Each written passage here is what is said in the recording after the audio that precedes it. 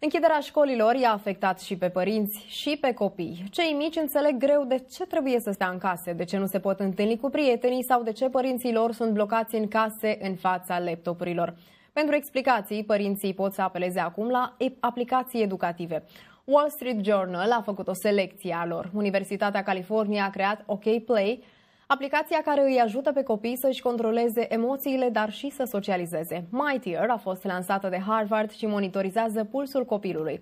Cu Generation Mindful, părinții învață cum să aplice disciplina prin recompense, nu prin pedepse.